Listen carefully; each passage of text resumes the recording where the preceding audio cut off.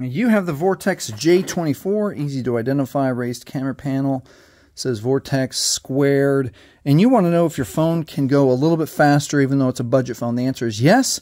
And I'll show you right now. Let's jump into settings. All right, jump into settings. We're going to touch right here, settings. And then we're looking for something called accessibility. Right there, accessibility. And very easy, color and motion. And all we're going to do is remove animations. That's it. That's the only thing that we're going to do. And now this is, let's compare it to Samsung Galaxy S10e. Not the newest phone, but still a quick phone.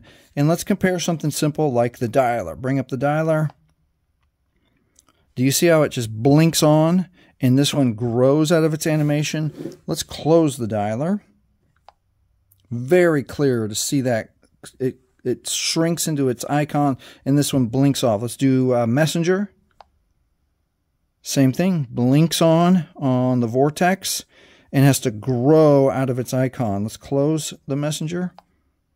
That's it. This has a little bit of a blinkish, like glitchy kind of looking thing, but I think that's just the software doesn't uh, allow for that smooth transition uh, to just blink off like a performance phone would. And that's it. If you end up not liking how that runs, let's jump back into settings and just turn it back on. Settings, and let's I'll go all the way back to the top like we like it, we've used it for a while now we don't like it. Okay inside settings we're looking for accessibility inside accessibility color and motion and just turn that back on like that. And now you can see bring up the dialer. It's still a little bit quick.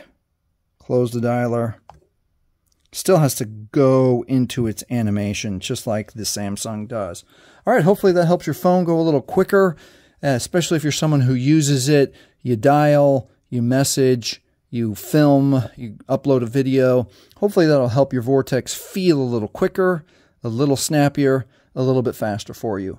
All right, if this has helped you, please like, please subscribe. Thank you for watching.